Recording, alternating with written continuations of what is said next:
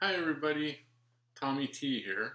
Thank you so much for watching my series on AB 300. As I go through this program, it's important that you understand everything that I'm explaining to you and all the information as we go through. If you have any questions during the presentation, please email me. My email is info at safebodyarttraining.com. The most important person in the classroom is always the student. That's you. So please reach out to me and email me. I'll be glad to help you out. By the time you are done with this series, you will be an expert on following regulations in the body piercing industry. So what do you say, folks? Let's do it. In this series, I will explain each section and subsection in the Safe Body Art Act. I will go through the sections in detail. I'll explain how to read the section, how to record your act of compliance, and how to fill out the paperwork. This series covers Assembly Bill 1168 of the California Health and Safety Code, approved October 4, 2013, otherwise known as the Safe Body Art Act. This series is for body piercing only. I will not go over tattooing, branding, permanent cosmetics, or ear piercing. Some of the sections in this legislation are too long to cover comprehensively in this video. So a series of sub-videos have been created to complete the training for the Safe Body Art Act in its entirety. These are the materials you will need to complete this course. After you get these materials together, I'd like you to go to the website under capital E on the next slide and print out a copy of the Safe Body Art Act, AB 1168, from the State of California website. So stop the video, my email address is down here on the slide. It's info at safebodyarttraining.com. Ask for a set of handouts for the Safe Body Art Training video. Okay, everybody, I'd like you to get a copy of Assembly Bill 1168 from the California Legislation Information section of ca.gov website. What I'd like you to do is go to your address bar and type in California legislation information and make sure that the address that you pick is the one shown on this slide. And then once you do that, the first step is to select bill information. The second step is to type in AB 1168 under bill number and then you're going to select the year which is 2013. That's the third step. Then hit search and a list of bills will come up. The first bill on the list should be AB 1168. You'll see body art, safe body art in there. Go ahead and print that out and we're going to record your acts of compliance, where they're at in your shop or where they're at in your infection prevention and control plan or where they're at in your exposure control plan and you're going to basically have a completely filled in copy of the regulation that shows everywhere that you've complied, how you've complied, so on and so forth. Okay, all right, let's go. By the end of this series, you will be able to know and understand each section and subsection in the Safe Body Art Act. You will be able to verify that you and your shop are compliant with each section, and you'll be able to investigate your shop, your equipment, and your administrative controls, and you'll be prepared for a health department inspection with supporting documentation.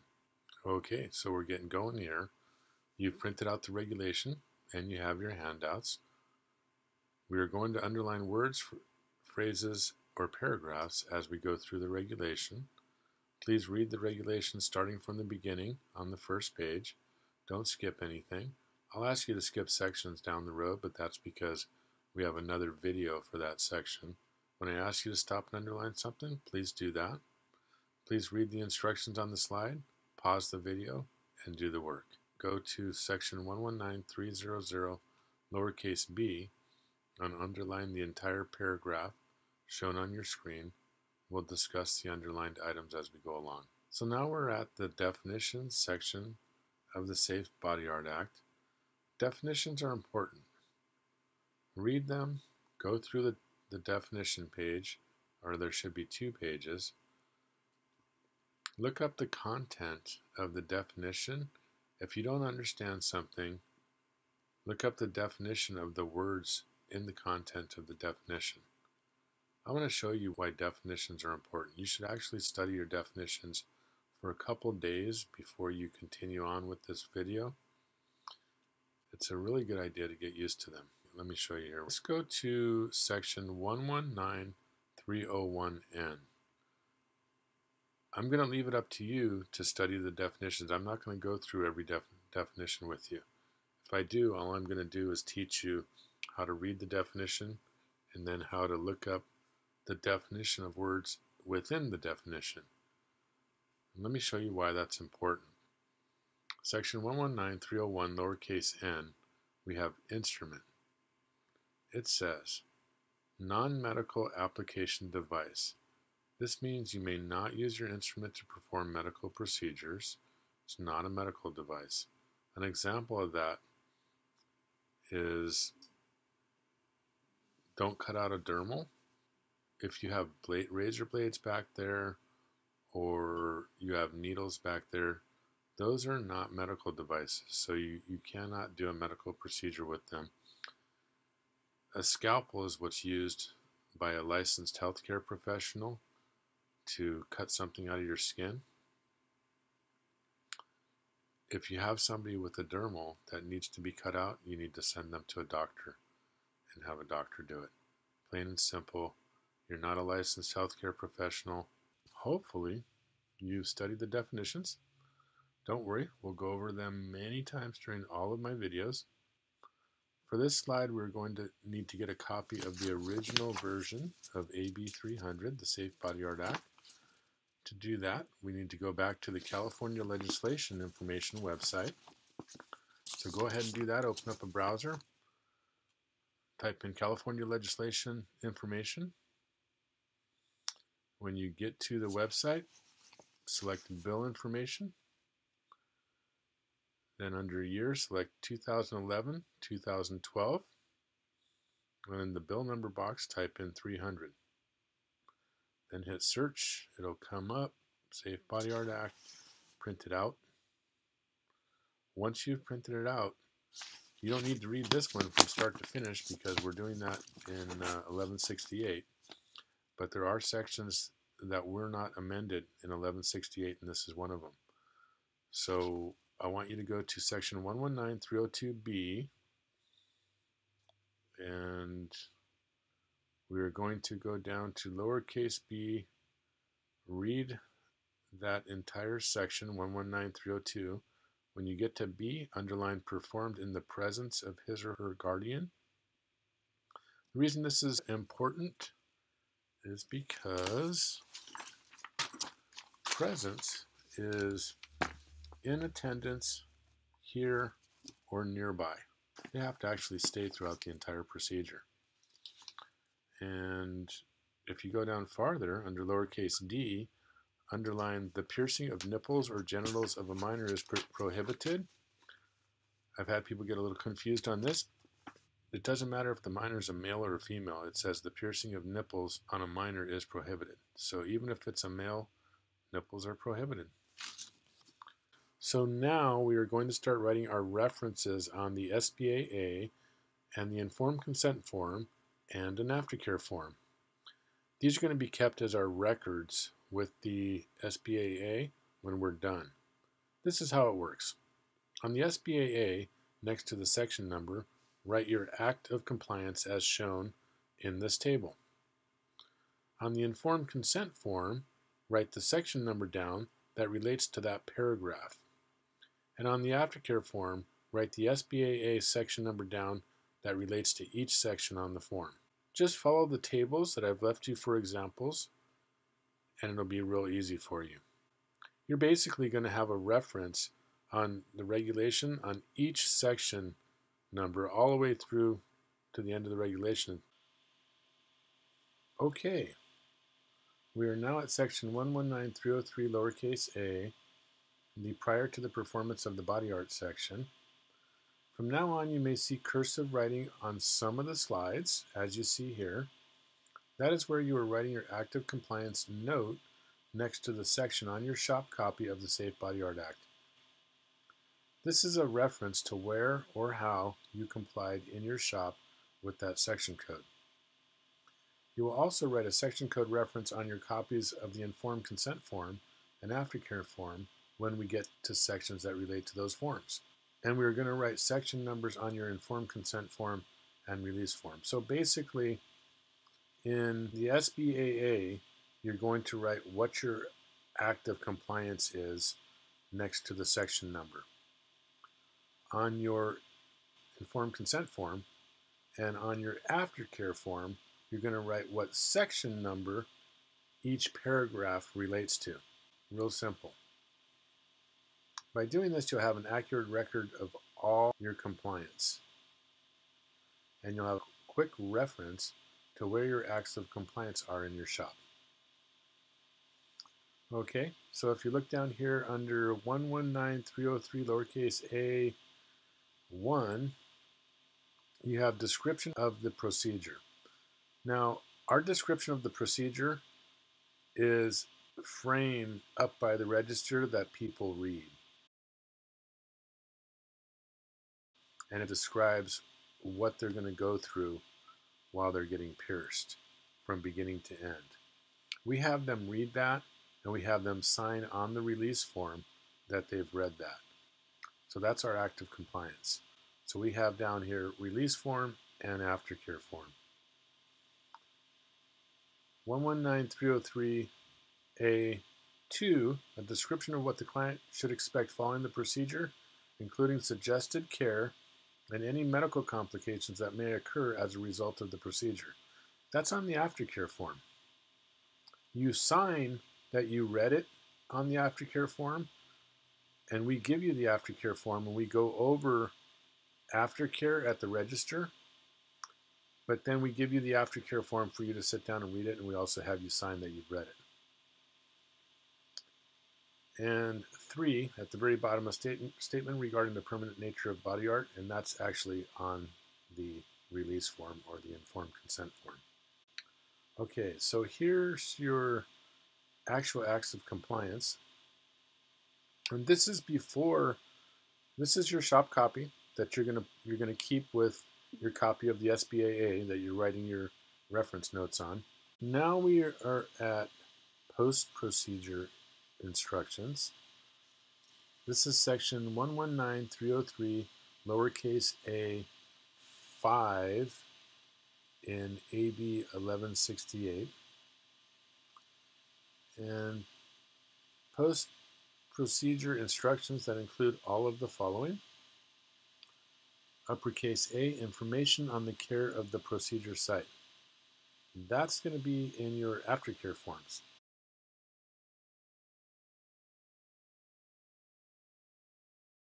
And B is going to be restrictions on physical activities such as bathing, recreational water activity, gardening.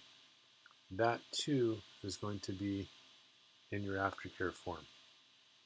I believe it's on the last page of the ones that we gave you in the handouts. Now on the aftercare form, where you find the paragraph that talks about that, you're going to want to put the section reference that that paragraph covers. If you're looking at B here, for example, restrictions on physical activities, contact with animals, so on and so forth. In the aftercare form, you're going to want to write down section 119303, you don't have to write section, but 119303 lowercase a 5 capital B. And that will refer to this right here. So you're writing your reference on the shop copy of the SBAA, and then you're writing your section code on your aftercare form that you're going to keep with your shop copy that references back to the SBAA.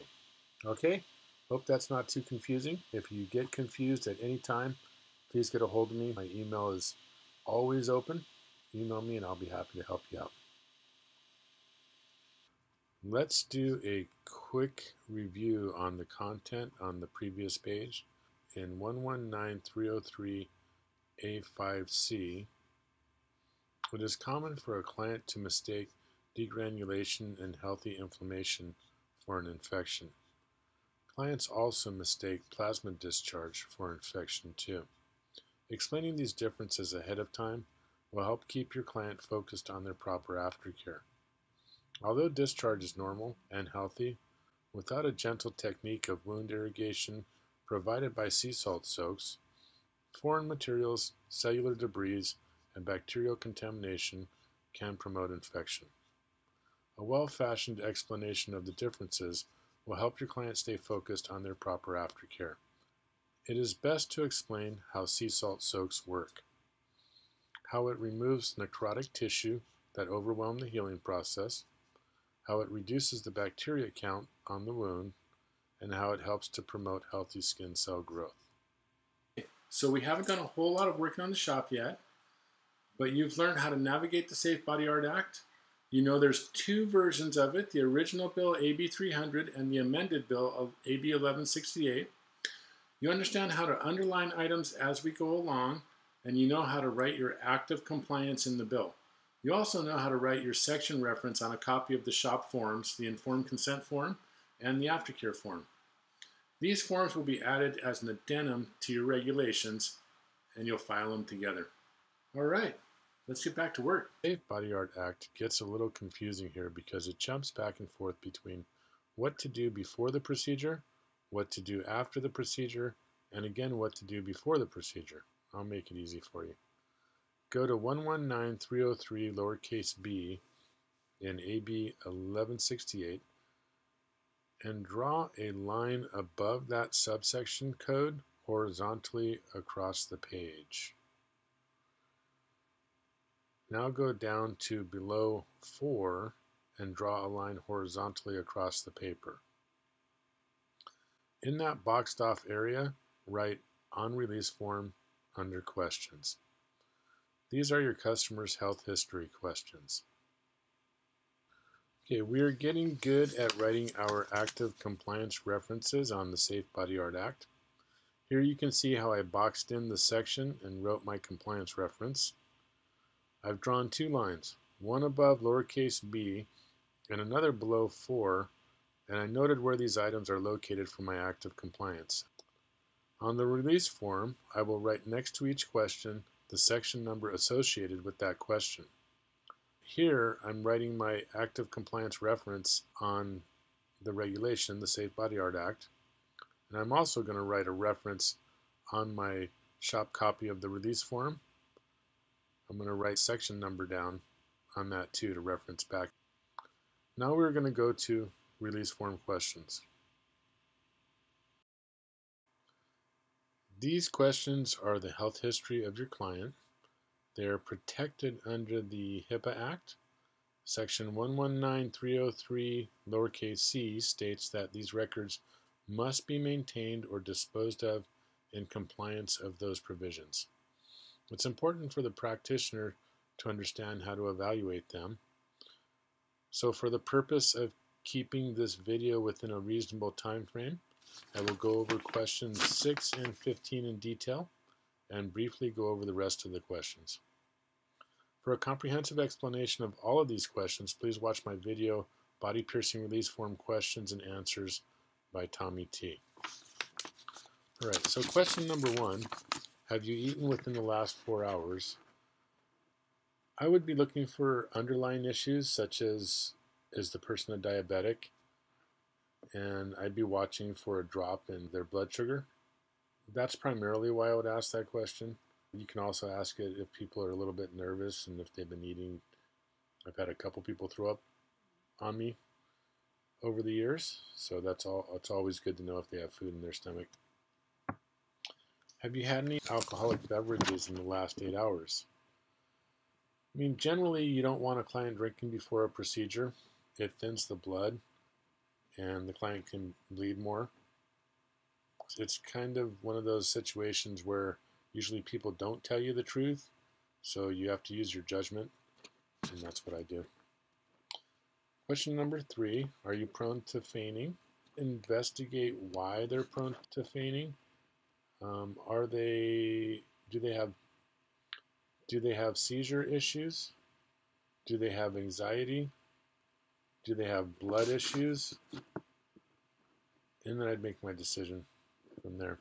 To become an expert in one's field, one must not just know the content of their discipline, but the context behind it. As you've noticed, I'm not just teaching you the laws, but the meaning behind the law and what information you'll need to accurately confer with your customers. Are you prone to heavy bleeding? Once again, look at the health history. Ask them if they're on a blood thinner. Ask them if they're diabetic. Ask them if they have hemophilia. You want to know why and you want to document that. Question number five Do you have hemophilia? We cannot pierce a client with hemophilia. Question number six: Do you have do you have to take antibiotics before seeing the dentist? This question will be covered comprehensively on the next slide. Question number seven: Have you taken aspirin, ibuprofen, or blood thinners within the last 24 hours? It is generally required for people who want in minor invasive procedures to be off blood thinners for usually a week for that reason, we will not pierce people that are on blood thinners. If the client is taking aspirin or ibuprofen, we look for the following. Are they under 40 and healthy? Over 40 and recommended by a doctor, we would ask for a medical release. Under 40 and healthy, we might pierce them, but we'll ask other questions. I always refer to getting a doctor's release on stuff like this as far as blood thinners go, usually if a doctor is if usually if somebody is under the care of a doctor the doctor will not give them a release if there's any reason that you know the doctor will not give them a release if there's any danger as far as ibuprofen and aspirin goes the rule is that they have to be off ibuprofen or aspirin four to five times the half-life of the medication. A latex allergy. Nowadays, nitrile gloves are cheap, so everybody pretty much uses nitrile gloves nowadays. We don't take any chances, so we don't have any, any latex gloves at all.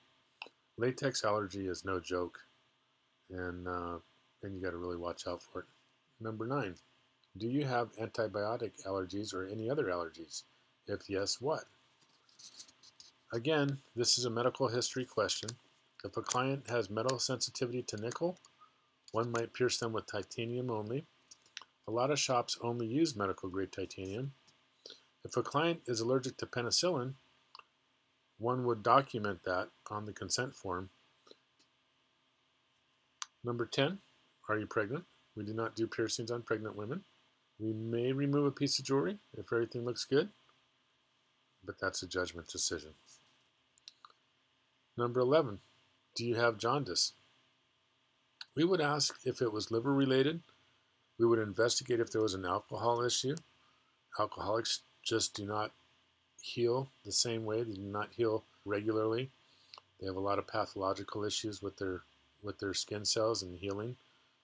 Alcoholics tend to have hypoxia in their skin. They don't have good circulation. Uh, there must be underlying issues with the jaundice. There must be underlying issues. People with jaundice may have clotting issues. For these reasons, we would require a medical release. Number 12. Do you have hepatitis? Some dentists have contracted hepatitis. I've never heard of a dentist contracting HIV. Hepatitis can affect bleeding. I would ask them if they know their viral count. If they hardly show signs of disease, if everything looks okay, we use universal precautions, so I would work on them normally. Question number 13. Have you recovered from jaundice or hepatitis in the last six months? I would get a medical release before uh, piercing that client. Number 14, do you have herpes? Many dentists work on people that have herpes all the time. As long as there isn't a breakout, use universal precautions and work on them normally. Herpes sores are very painful. People who have herpes around their oral area still have to get dental work done. The herpes virus can stay alive outside of the body and be transmitted, so you, you have to be very careful with your PPE to make sure that you're not cross-contaminating, spreading that virus around on your clothing or anything like that. Number 15, do you have diabetes? Diabetes is one of the ones I'm going to go over in detail, so we'll handle that in a couple of slides. Number 16, do you have cardiac valve disease? This question relates to question number six. Usually people who have congenital heart disease need to take antibiotic prophylaxis prior to minor medical procedures. We do not pierce these clients. Number 17, do you have any other conditions that might affect the healing of this piercing? Gather this data for your client's health history, and if you have any questions, consult a physician. Okay, everybody, we're on the ICF health history question number six. Do you have to take antibiotics before seeing the dentist or surgeon? The requirements for antibiotic prophylaxis has changed somewhat over the years. It's actually, it's changed dramatically due to antibiotic overuse. Bacteria and viruses are becoming more and more resistant to antibiotics. MRSA is an example of a strain of staph that is highly resistant to antibiotics. In the 1920s and the 1930s, doctors noticed an increase in infections in heart patients after minor routine invasive surgery. Patients that have congenital heart disease are susceptible to infective endocarditis, which is infection of the heart valves. Doctors noticed more cases of infections after routine dental procedures. Those patients were becoming infected and they were becoming infected through their skin. Staph and strep were entering their system through their skin after these minor procedures. As a result, in the 1950s, the American Heart Association put out guidelines for doctors to recommend an antibiotic prophylaxis prior to dental work or surgery. That all started to change, and in the early 2000s, the AHA only recommended it in severe cases. And nowadays, the AHA recommends a heart healthy diet rather than antibiotic prophylaxis.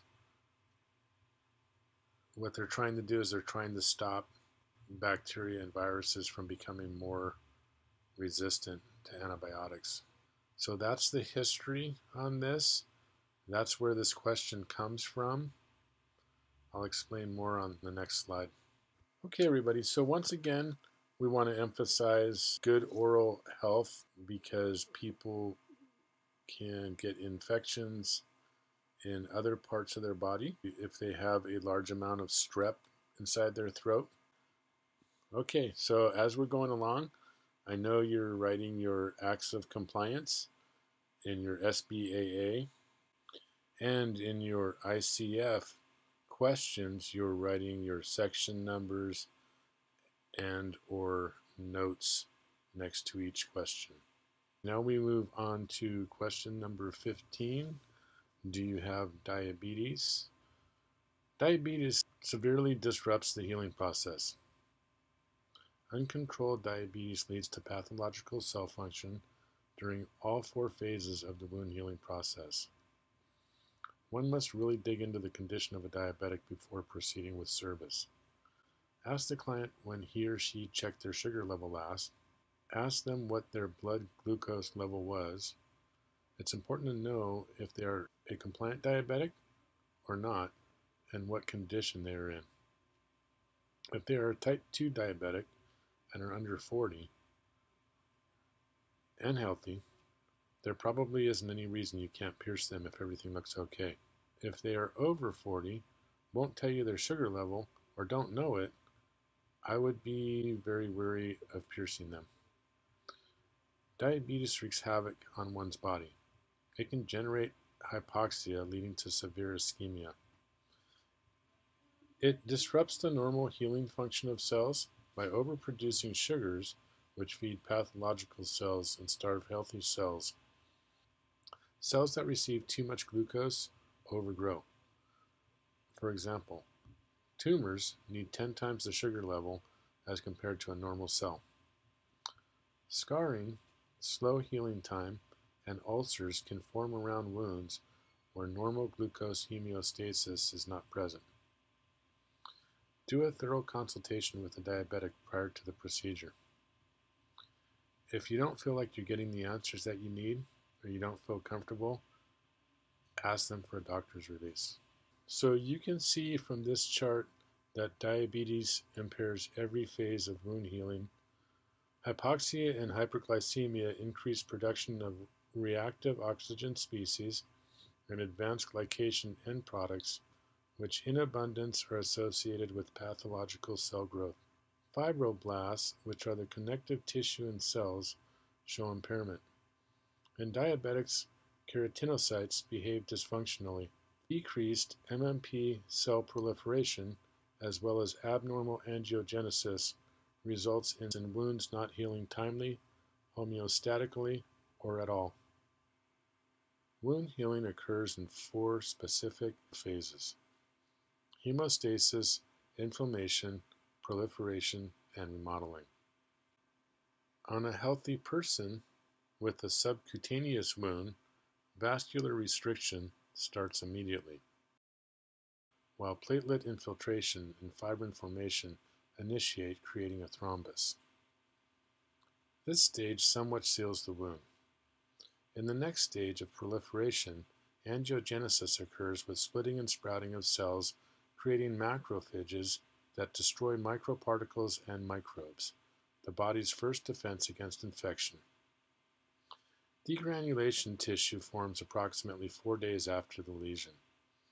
In body piercing, a main factor contributing to pathological wound healing is pressure. Pressure can come from unbalanced, improperly angled, or inaccurate jewelry placement. Pathological cell formation from pressure is either intentional or unintentional. Pressure applied to piercing wounds during sleep account for a great deal of improperly healed wounds. Wounds that are continually exposed to inhibiting factors can develop ulcers, commonly referred to as keloids. Pressure applied to piercing wounds during sleep account for a great deal of improperly healed wounds. While most unwanted cells disappear during the remodeling phase of wound healing, Wounds that are continually exposed to inhibiting factors can develop ulcers, commonly referred to as keloids in the piercing industry. Protecting wounds from pressure, usually with a surgical gauze, helps the wound heal better. Always consult with your clients and inform them of these issues.